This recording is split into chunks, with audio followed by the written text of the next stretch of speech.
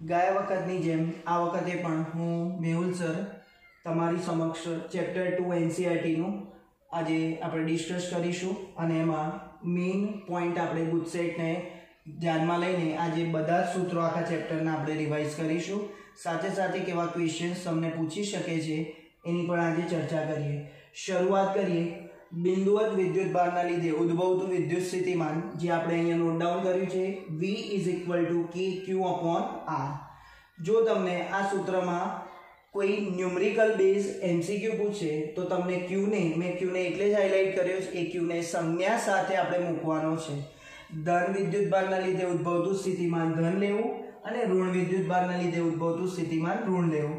બીજો એક ક્વેશ્ચન તમને આમાંથી સિમ્પલી એવી રીતે પૂછી શકે.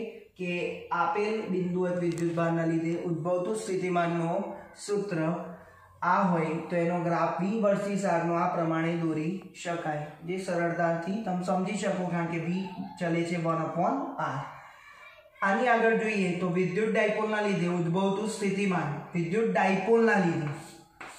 જો ડાયપોલ આવે તો તમારે થોડું ખાસ ધ્યાન રાખવાનું. ચેપ્ટર વનમાં પણ આવે છે, પણ અહીંયા ચેપ્ટર ટુમાં આપણે વિદ્યુત ડાયપોલના લીધે વિદ્યુત સ્થિતિમાનની વાત કરીએ છીએ. તો સૂત્ર આવે KP cos theta upon R square જ્યાં થીટા એ સદીશ પી અને સદીશ આર વચ્ચેનો ખૂણો છે. એના મુજબ જોઈએ તો વી એ વન અપોન આર સ્ક્વેરના સમપ્રમાણમાં છે.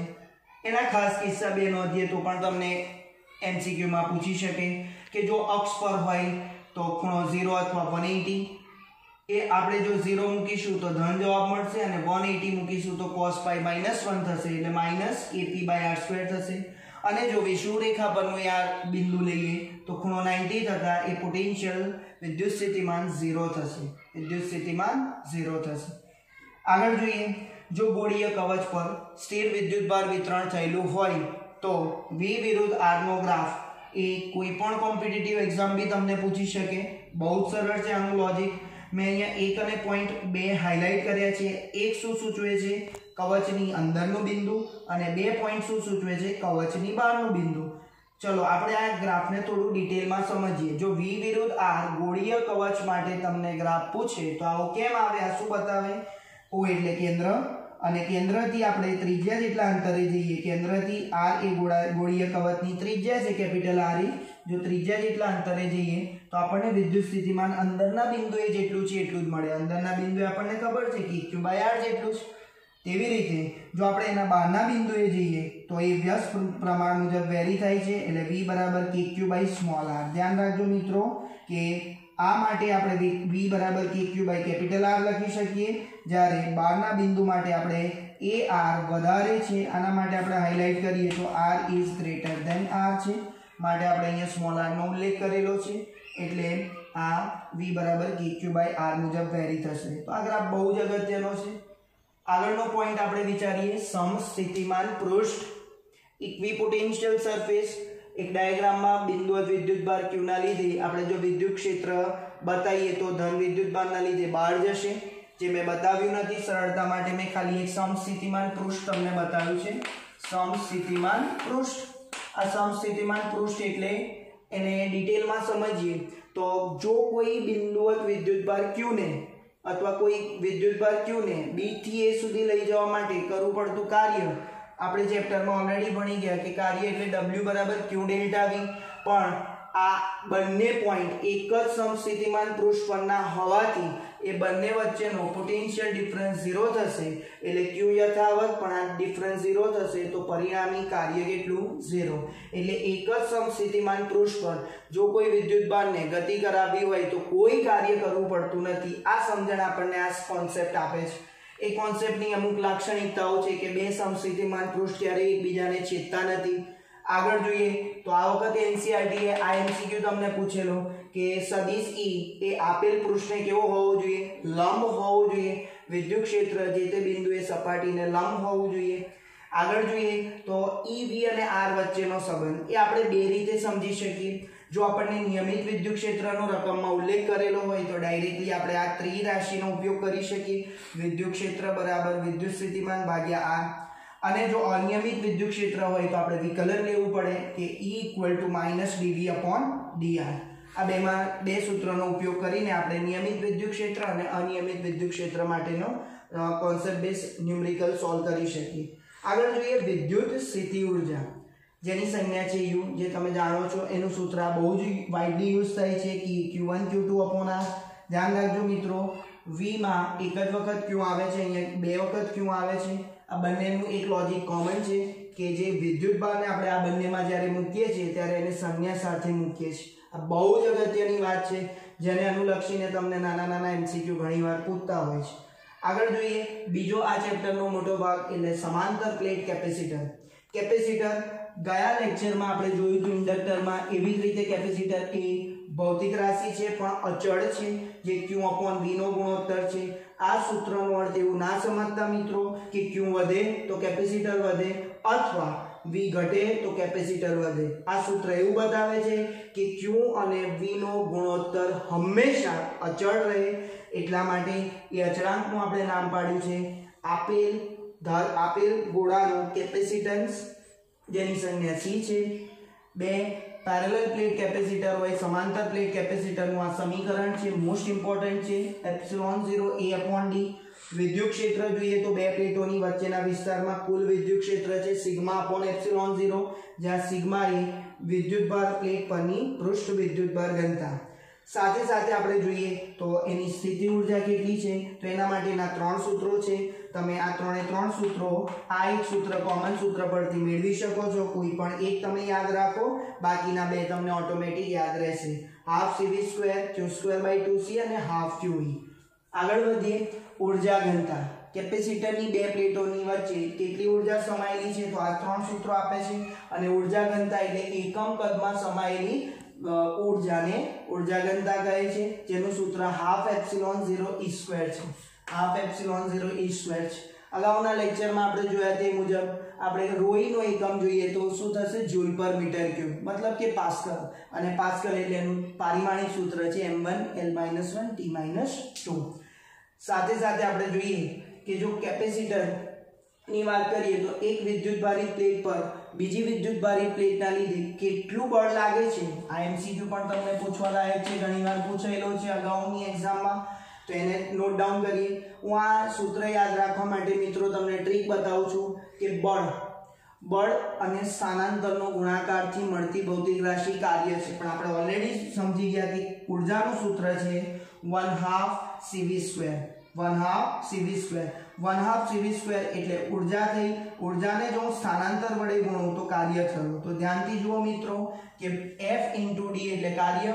જો હું ડીને છેદમાં લઈ દઈશ, તો one half CV square upon D એ આપણને બળનું સૂત્ર આપશે. તો અહીંયા આપણને એક હિન્ટ મળે છે કે બળ ગુણ્યા સ્થાનાંતર એટલે કાર્ય, જે આપણને ઊર્જા જ બતાવે છે. એટલે એફ ના સૂત્રો, વિવિધ સૂત્રો મેળવી શકીએ. એક સૂત્ર છે half CV square upon D અને બીજું છે હાફ ક્યુઈ જે મેં ડિટેલમાં ઉલ્લેખ કરેલો છે. આગળ જોઈએ, શ્રેણી અને સમાંતર જોડાણના વિવિધ પ્રકારના દાખલાઓ આપણને સર્કિટને નેટવર્ક આપે છે, ત્યારે આપણે સોલ્વ કરી શકીએ. તો અમુક અગત્યના પોઈન્ટ્સ મેં નોટ ડાઉન કરેલા છે, જેને આપણે ફટાફટ સમજી લઈએ.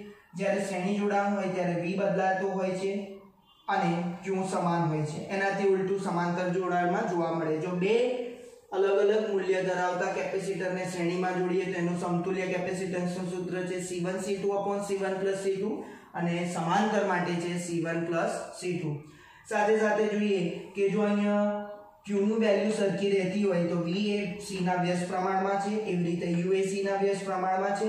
પરંતુ મિત્રો અહીંયા V સરખો હોવાથી અહીંયા Q એ C ના સમપ્રમાણમાં છે જ્યારે U એ C ના સમપ્રમાણમાં છે. જો આપણે આગળ વાત કરીએ કે n કેપેસિટર હોય અને દરેકની વેલ્યુ આપણે સરખી લઈએ તો સમતુલ્ય શ્રેણીમાં કેપેસિટન્સ CS બરાબર C n લખાય અને એ જ વાત જો પેરેલલ એટલે સમાંતર કેપેસિટર માટે કરીએ તો n C લખાય. આ બેનો ગુણોત્તર ઘણીવાર આપણને ડાયરેક્ટલી પૂછતા હોય છે. આવા જ એમસીક્યુ મિત્રો ગુજસેટ લેવલે પૂછાતા હોય છે. આનો એક આગળનો મુદ્દો જોઈએ. તો જો વિદ્યુત સ્થિતિમાન જો V ડેશ હોય તો V n થાય એટલે n એ નંબર ઓફ કેપેસિટર જેની વેલ્યુ આપણે સરળતાથી ઇનપુટ કરીએ તો બે કોઈ બી કેપેસિટર વચ્ચેનો આપણે પોટેન્શિયલ ડિફરન્સ સરળતાથી શોધી શકીએ. એવી રીતે અહીંયા વિદ્યુત ભાર વેરી થાય છે. આપણે અગાઉ જોઈ ગયા એ મુજબ. એટલે અહીંયા લખ્યું છે Q dash equal to Q by N એક આ અગત્યનો ડાયાગ્રામ મેં દોર્યો છે, જેના બેઝ તમને ડાયરેક્ટ એમસીક્યુ સોલ્વ કરી શકો. શું કહેવા માંગે છે? આકૃતિ સમજી લઈએ. કેપેસિટરની બે સમાંતર પ્લેટો વચ્ચે ટી જાડાઈનો કોઈ કે ડાઇલેક્ટ્રિક અચળાંક ધરાવતું કોઈ માધ્યમ જો આપણે મૂકીએ અને આ બે પ્લેટો વચ્ચેનું અંતર જો ડી હોય, તો એનું સમતુલ્ય કેપેસિટન્સ મિત્રો બહુ સરળ છે. એની શોર્ટકટ ટ્રીક બતાવો કેવી રીતે યાદ રહે. આપણને આ સૂત્ર યાદ છે epsilon zero A by D એ જ રીતે આ લખેલું છે ન્યુમરેટર, એટલે અંશ આપણે એમનો એમ રાખ્યો છે, એપ્સિલોન ઝીરો એ ભાગ્યા ડી તો યથાવત પણ આપણે આ ટી જાડાઈ એને D minus T plus T upon K જ્યાં કે છે એ આપેલ ડાઇલેક્ટ્રિક માધ્યમનો અચળાંક. તો તમે આ એક જ પદ તમારે આટલું વ્યવસ્થિત યાદ રાખવું પડશે. ખૂબ અગત્યનું છે, ફરી એક વખત યાદ કરી લઈએ, epsilon zero A upon D minus T plus T upon K. આ જ સૂત્રમાં તમને હજી આગળ એકાદ પ્રશ્ન આવો પૂછી શકે જે ખૂબ સરળ છે. જો આ ટી જાડાઈની ધાતુની પ્લેટ હોય તો, એટલે ઉપર મુજબ જણાવ્યા મુજબ આ ડાઇલેક્ટ્રિક માધ્યમ હતું, એટલે અવાહક માધ્યમ હતું પણ જો ધાતુની પ્લેટ મૂકીએ, જાડાઈ એની ડીની જાડાઈ એની ટીની ટી રાખીએ, ટી એટલે થિકનેસ તો કંઈ નહીં કરવાનું મિત્રો. ધાતુ માટે કે આપણને ખબર છે ડાઇલેક્ટ્રિક અચળાંક કેટલો હોય? અનંત. ઉપરના સૂત્રમાં કે અનંત મૂકીએ તો કોઈ પણ સંખ્યા ભાગ્યા અનંત જવાબ ઝીરો આવે. એટલે એ સૂત્ર આપણને સિમ્પ્લિફાઈ આવી રીતે મળશે કે epsilon zero A upon D minus t. તો ફરી એક વખત રિકોલ કરી દઈએ. જો ધાતુની પ્લેટ મૂકવામાં આવે, તો સૂત્ર આપણને આ વાપરી શકાય. અને જો એ ધાતુની પ્લેટના સ્થાને ડાયલેક્ટ્રિક અચળાંક ધરાવતું માધ્યમ હોય, તો આપણે આ સૂત્રનો ઉપયોગ કરી શકીએ. આ ખાસ ધ્યાન રાખજો. જી માટે પણ ખૂબ કામનું સૂત્ર છે. આગળ જોઈએ. સમાન વિદ્યુત ક્ષેત્રમાં ડાયપોલની સ્થિતિ ઊર્જા અહીંયા સ્થિતિ ઉર્જાનું સૂત્ર આપણે નોટ ડાઉન કર્યું, પણ એ સ્થિતિ ઊર્જા જો સમાન વિદ્યુત ક્ષેત્રમાં ડાયપોલને ડાયપોલની સ્થિતિ ઊર્જા ચેક કરવી હોય, તો યુ એ અદિશ ભૌતિક રાશિ છે. જેનું સૂત્ર છે માઇનસ પી ડોટ સદીશ E minus P cos theta જ્યાં થીટા એ સદીશ પી અને સદીશ ઈ વચ્ચેનો ખૂણો છે. એના પણ ખાસ બે કિસ્સા આપણે નોટ ડાઉન કર્યા છે. ખૂણો ઝીરો હોય અને ખૂણો 90 હોય ત્યારે. ધ્યાન રાખજો ઘણીવાર શબ્દોમાં લખે ત્યારે કન્ફ્યુઝન થતું હોય છે, એટલે મેં ખાસ લખ્યું છે કે માઇનસ પીઈ એટલે આ મૂલ્ય કહેવાય સ્થિતિ ઉર્જાનું લઘુત્તમ. પણ મહત્તમ ઋણ કહેવાય. ઋણ ખરું પણ આ વેલ્યુ કેવી છે? મહત્તમ. એટલે આ ખાસ ધ્યાન રાખજો. આગળ જોઈએ પોલરાઇઝેશન પોલરાઇઝેશનમાં ઘણા બધા છોકરાઓને આવું ધ્યાનમાં હોતું નથી, એટલે આપણે સરળતા માટે એના બે એક સૂત્રો આપણે નોટ ડાઉન કરીશું. તો પોલરાઇઝેશનની તીવ્રતા, એ એટલે આ પી સંજ્ઞા ધ્યાન રાખજો મિત્રો, આ પોલરાઇઝેશનનો પી લખ્યો છે અને આ જે છે, એકમ કદ દીઠ વિદ્યુત ડાયપોલ મોમેન્ટને પોલરાઇઝેશનની તીવ્રતા કહેવાય. એટલે આ પી લખ્યો છે, વિદ્યુત ડાયપોલ મોમેન્ટનું છે અને આ છે એ કદ. ક્ષેત્રફળ ગુણ્યા અંતર, આપણે લખી શકીએ. સાથે સાથે આનો, આના પરથી તમે સરળતાથી પોલરાઇઝેશનની તીવ્રતાનો એકમ બનાવી શકો છો, કારણ કે ડાયપોલ મોમેન્ટ અને કદનો એકમ તમને ધ્યાનમાં છે. આગળ જોઈએ તો અધ્રુવીય અણુ કે પરમાણુને જ્યારે સમાન વિદ્યુત ક્ષેત્રમાં મૂકવામાં આવે, ત્યારે પ્રેરિત થતી ડાયપોલ મોમેન્ટ એ સદિશ પી બરાબર આલ્ફા ઇન્ટુ ઈ ઝીરો વડે રજૂ કરી શકાય. આ ખૂબ ધ્યાનમાં રાખવા લાયક મુદ્દો છે જે ઘણા બધા વિદ્યાર્થીઓને ખબર હોતી નથી. તો કોમ્પિટિટિવ એક્ઝામમાં જતા પહેલાં તમે આવું નોટ ડાઉન કરી શકો. જ્યાં આલ્ફાને અણુની ધ્રુવીયતા કહે છે. આલ્ફાને અણુની ધ્રુવીયતા કહે છે. આલ્ફાનો એકમ જોઈએ તો coulomb square into meter upon newton.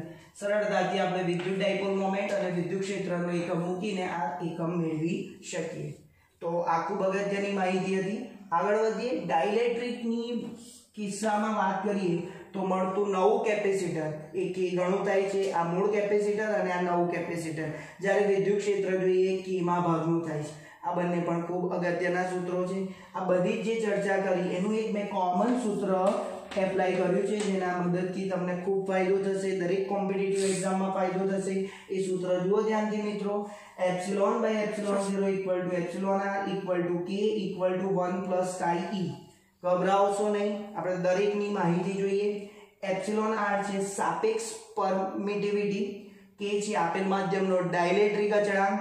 અને કાઈ ઈ છે એ વિદ્યુતીય સસેપ્ટિબિલિટી ધ્યાનથી ચેક કરીએ.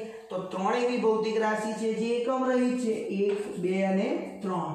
કાઈ ઈ પણ એકમ રહી છે. ડાયલેટ્રિક અચળાંક પણ એકમ રહી છે અને એપ્સિલોન આર પણ એકમ રહી છે. કેવી રીતે તમે યાદ રાખી શકો? બહુ સિમ્પલ વે. જો એક આપણે લખ્યો છે અને અહીંયા સરવાળો કર્યો છે, એકનો કોઈ એકમ હોતો નથી.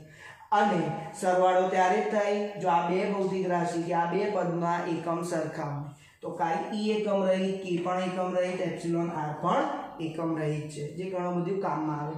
છેલ્લે, જતા પહેલા, આર ત્રિજ્યાના ગુણાનું જે કેપેસિટન્સ આપણને પૂછે, તો બહુ સિમ્પલ સૂત્ર છે, આ બંને એક જ સૂત્ર છે, આર અથવા આપણે કોઈ બી વાપરી શકીએ. આર અપોન કે અથવા કે એટલે one upon four pi epsilon zero? તો એની કિંમત મૂકીએ તો સી બરાબર four pi epsilon zero R. જ્યાં આર એ આપેલ વાહક ગોળાની ત્રિજ્યા છે. અને જો પૃથ્વીને આપણે ગોળા તરીકે લઈએ છીએ, જો એનું કેપેસિટર તમને પૂછે, તો તમે એની ત્રિજ્યાની કિંમત મૂકીને તમે આટલું મૂલ્ય મેળવી શકો છો. વિદ્યાર્થી મિત્રો, તમને આ વીડિયો ખૂબ સરસ લાગ્યો હશે અને આખો એક સ્ક્રીનશોટ હું આપું છું તમને, જે તમે નોટ ડાઉન કરી શકો. Thank you